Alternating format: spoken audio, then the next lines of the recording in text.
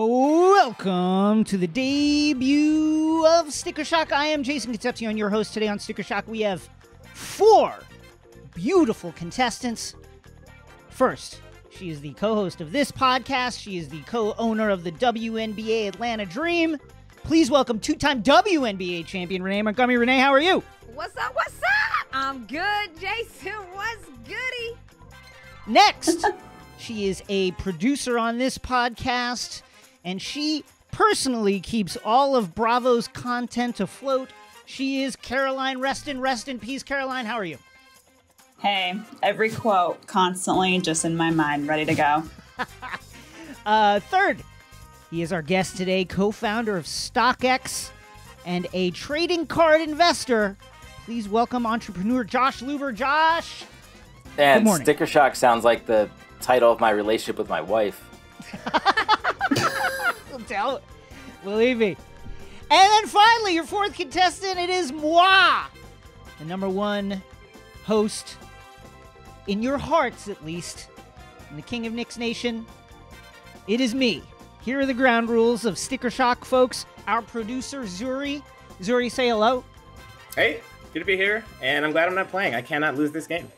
is going to tell us, Zuri is going to tell us about a collector's item that was recently sold on an online auction site. He will tell us the date, he will tell us the auction site, and we must guess the price without going over. Closest to the price gets a point. Everyone ready? Ready? Oh, God. Let's spin the wheel and see who goes first. Spin it!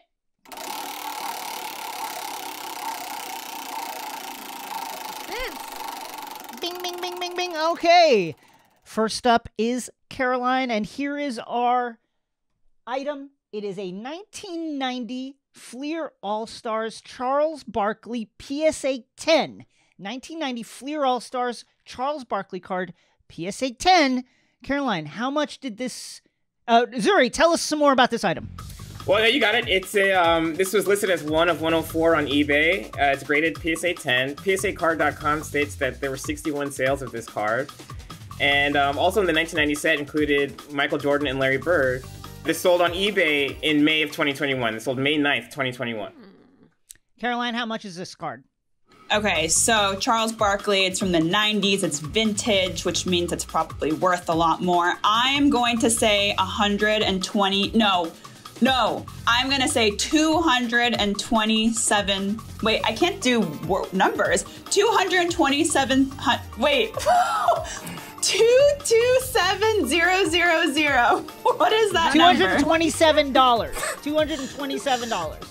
Caroline Reston says two hundred. No, no. No, two- no, she's saying 222,000.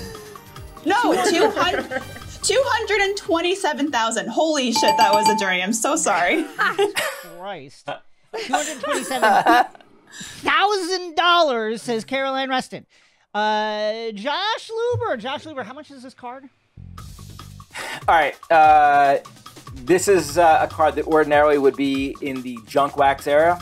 Uh, it, however, happens to be a PSA 10, uh, and there's high premiums on PSA 10. So I'm going to say this card is 80 bucks. Eighty dollars. Oh Vast my gulf between those two guesses. Renee Montgomery. Renee, how much are you going to say this card is? 150k. Yes, Caroline. A thousand. One hundred and fifty $150,000 thousand. I don't have a reason why, but I feel like Charles Barkley. PSA 10, does it matter? I should be asking Josh, does it matter that he has a hit show and that his legacy is continuing on? I don't know, but I feel like that's got to be 150. Um, now it goes to me.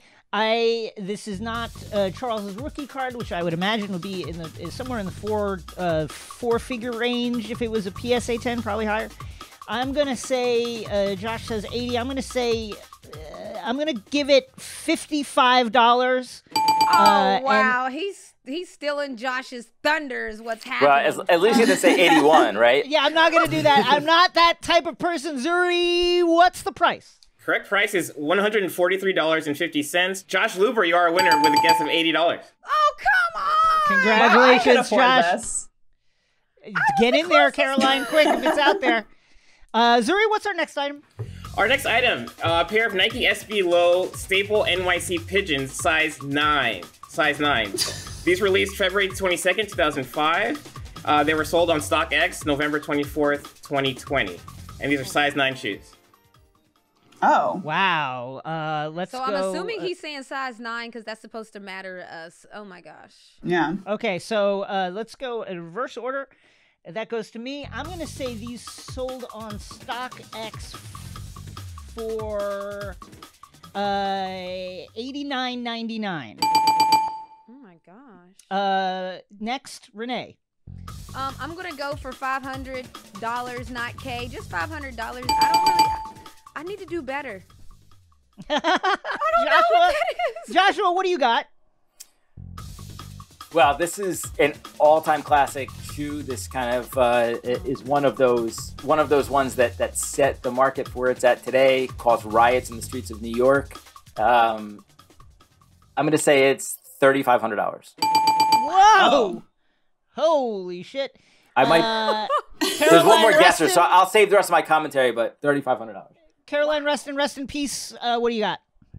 I'm alarmed that anything with a pigeon would be worth that much, but uh, okay. Uh, I'm gonna say twenty-five hundred dollars. Twenty five hundred Zuri. What do you have?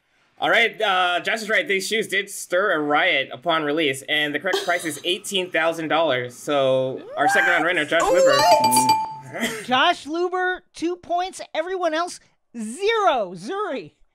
What's our next item? All right, coming up next, is rigged. we do have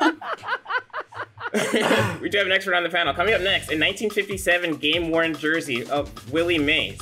Now this is Oh. the 1957 season. This is the last season the Giants played in New York before moving to San Francisco in 1958. Willie Mays uh, led the league in steals, slugging percentage, and triples in 1957. Where did it sell from?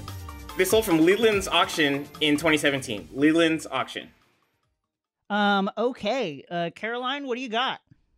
Holy shit! I have no idea. Um, okay, I am going to say an insane number: Good. one point two million dollars. Oh my gosh, that's insane. Caroline, one point two milli. It Josh just seems like if anything were a million dollars, it would be this. Josh Luber, what do you got? What do you think? Willie Mays, 1957 Giants jersey, last year the Giants in New York. The Giants won the pennant. The Giants won the pennant.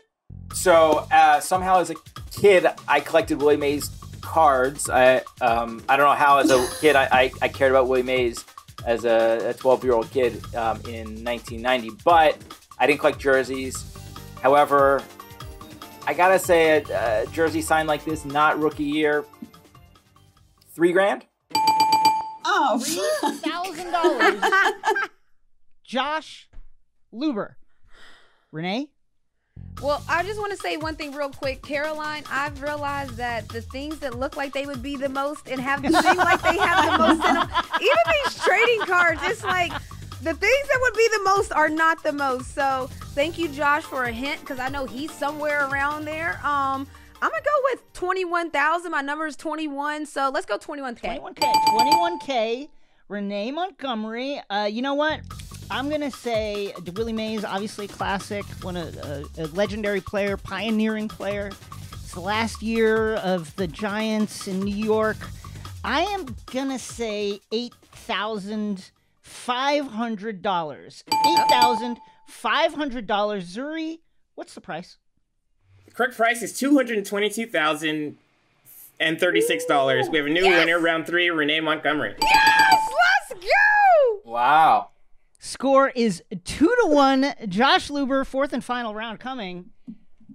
Zuri, what's the item? oh god. All right. Oh my god. The god. item we're looking at now is the last violin played on the Titanic. Oh. This sold at Henry Aldridge and Son in I would pay a hundred million dollars for this. We have an early guess from Caroline. Um, No, I thought my guess. uh, this sold in 2013, and apparently this was strapped to the back of English musician Wallace Hartley as the Titanic sank. And um, the violin was given as a, as a gift to his fiancee as an engagement gift. Um, From who? wow. And it's Was it- believed to be German and created around 1880. Um, Did, did he survive? he did not survive. This is gonna make me cry. So this is let me get beautiful. This, let me could he not get on the door with Rose? What was the issue? Well, I think he's just a musician's musician and wanted to die with his item. And again, this sold in 2013 at the Henry Aldridge and Son auction. And was he a wow. part of the like string quartet who sent, who played as the Titanic went down? Correct. That is the uh, the assumption. I have a fun fact uh, about that. I'll save it for another time. Okay, so uh, Titanic uh, violin. Gosh, it's a historical item. It looks like they also have like a life vest or something from from the uh, from the Titanic in the background of it. I'm gonna say I'm gonna say eight hundred and fifty thousand dollars. Oh my. Eight hundred and fifty thousand dollars for me. Next, Renee. Oh my goodness. Let's go. I mean, let me just stop at a milli. I just feel like Um, if someone milli? didn't if someone didn't pay a million dollars for this, they got it for a steal. This is like crazy. a historical item of, of great value. Josh Luber, uh, violins. Ti- Titanic, ever heard of it? What is your Uh, guess? Slightly outside my area of expertise, but I'm gonna say this is here because it's some crazy number. So let's say ten million dollars. Oh my gosh. Ten million dollars. Josh. What kind of sneakers were they wearing on the Titanic, Josh? Yeah. Like what they was What? rocking on the Titanic? I got no idea. This th- this watch just ends up being like four hundred bucks. I don't know. Caroline, uh, your guess. Okay, ordinarily anything that has to do with the Titanic actually is my area of expertise. Very few of them, but that is one of them. But for this, I'm going to guess four million dollars. Four million dollars, says Caroline. Who will be near, far, closest to the price of the Titanic violin? Zuri, tell us. All right, correct price $1.7 million, which means Renee Montgomery Yes! are around for a winner, which means we have a tie. Let's Oh! go! and call so we go. comeback! You know what I've this been here means? for years. You know what this means? That means Renee and Josh, you will now square Mm. off in our tiebreaker round with one final item to decide the winner. Zuri, what is that item? All right. I'm scared. Um, final item is a 1999 Pokemon PSA 10 base set first edition Charizard. And the Charizard maintains the highest hit points and an attack more powerful than any other card in the inaugural set. Um, the imagery is courtesy of Mitsuhiro Arita, and this is one of 120 Charizard PSA 10s. And where did it Oh sell? my god. And this item sold at Iconic Auctions in October 2020. Uh, uh, Renee, your guess. The PSA Oh 10 my Charizard, Pokemon Charizard. Okay, so I think I remember one of the Logan brothers even getting this tattoo of this Pokemon on him. He had like a suitcase full of money flying on a private jet to go get this card. I really think it's something like that. So, oh, I'm just gonna go with five. Uh, who's what are they paying for this? Let's go with 1.5 million. 1.5 million for the 1999 PSA 10 Pokemon Charizard. Josh Luber, for all the marbles, what is your guess? So remind me, uh, do you is it closest without going over? Closest without going over. One dollar. Oh my god! Here's the thing. All right, so real quick, this card uh, is about I want to say a six hundred thousand dollar card today um, in a PSA ten, uh, but um, I think it has never reached one point five million. So I'm just gonna take the W, and not worry about going over. Zuri, what is the answer? This card sold for one hundred eighty-three thousand dollars, eight hundred one hundred eighty-three thousand dollars, eight hundred twelve, uh, which means Josh Luber, you are our winner. Josh Oh my Luber, congratulations. Do you have anything to say? Your victory speech, sir. Hey, sometimes you just got to take the W. Josh, thanks a lot.